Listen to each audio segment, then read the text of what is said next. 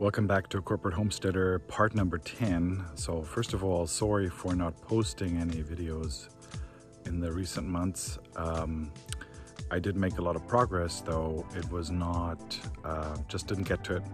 Uh, also, um, I just wanted to give you a little bit of a walkthrough on uh, the changes and progress that we've made. So please enjoy. Okay, so um, I guess it's a little easy to see that uh, over there I started actually framing the triangle windows and actually all the five windows here are framed. And I actually have on this window there's actually a sheet of glass in there right now. So this is just for me like a proof of concept more than anything else. So it's not super easy to see but actually my septic system line is coming out here and it's going straight to over there. So I dug that all up and in essence have here from my uh, from my electrical box. I have a, a, a number six wire uh, Teck cable actually uh, going over here and then over there and up to the tree. I'll show you that in a second but uh, so I did that. I also did a underground a data cable uh, PEX pipe half inch for water um, and actually that comes all over here and uh, here's actually the connection for the uh, three inch drain if I choose to put the um, water and uh, sewer to the treehouse.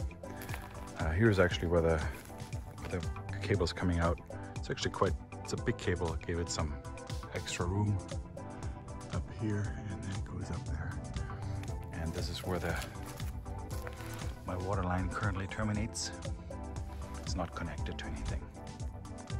So this was actually important to sort out because I didn't really have a power source to the treehouse. It was basically an extension cord uh, that I had from my pump house, from my well house.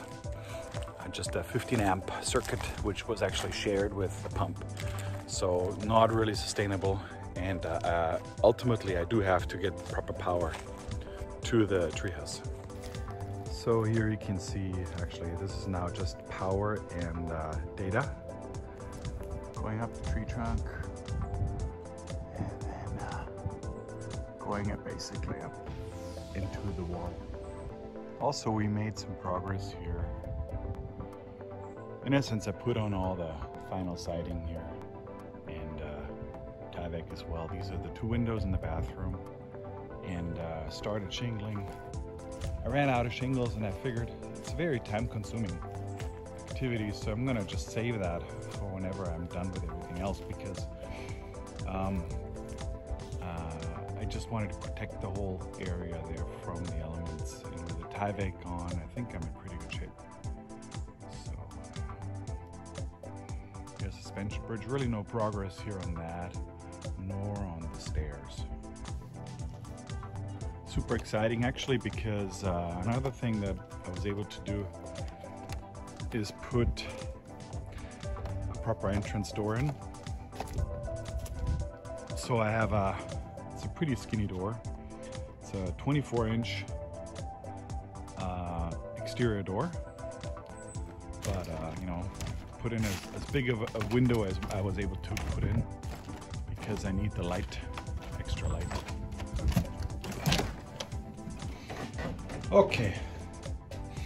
So the biggest changes probably in the treehouse is the fact that I have now my power and data coming up here. It's a it's a 60 amp service and uh, it's live already. I started actually wiring, you know, some lights, also power outlets, uh, and uh, that's all uh, basically ready to go and uh, will should help me for the winter to keep the frost off. I have a heater here though.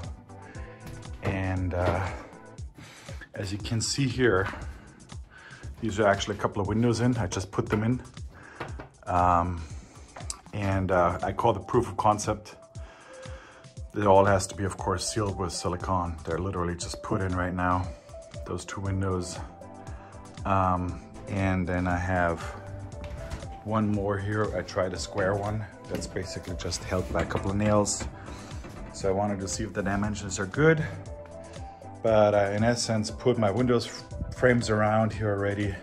So my goal is, as a next step, is to put those four remaining windows in. So because uh, when the winter comes, it's gonna be easier to just put like a tarp on these windows. And then I basically have a sealed envelope. There's already a tarp on those two and that's all closed off here.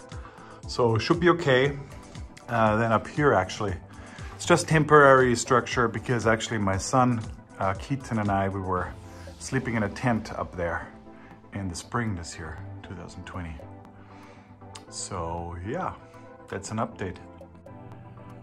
So I hope this was useful. Uh, looking forward to more subscribers. So please subscribe if you haven't done so yet and take uh, click the notification uh, to get new videos.